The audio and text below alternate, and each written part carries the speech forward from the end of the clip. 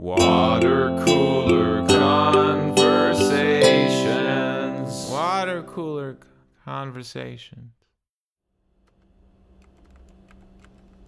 Morning, George. Oh, what do you say there, Rick? Ah, you know, same old, same old. You have a good weekend?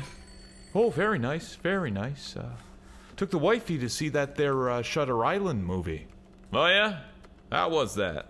Oh, very good, very good. Turns out that there uh, Titanic fella, well, he was crazy all along. At the beginning, you think he's a police guy or something, but then you find out he's crazy. Oh boy, threw me for a loop. Huh, that's something. I did not see that coming. And how was your weekend?